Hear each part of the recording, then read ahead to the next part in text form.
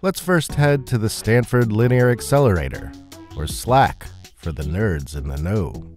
So SLAC is the home of the largest X-ray laser now on the planet. It is powered by cryo modules that are operating at 2 Kelvin, not too far from absolute zero. Okay. This is what this cryo plant is about. It's here that PsiQuantum has obtained a massive hunk of infrastructure in the form of a helium-based cryo plant.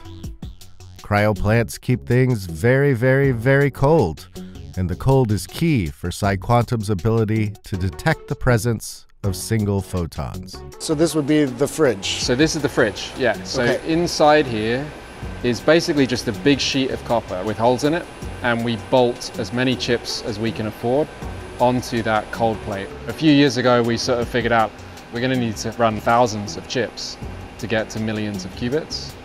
And so we need something where we can stuff a lot more chips in a fridge and where we've got orders of magnitude more cooling power. And in a real machine, we'll have on the order of 100 cabinets like these.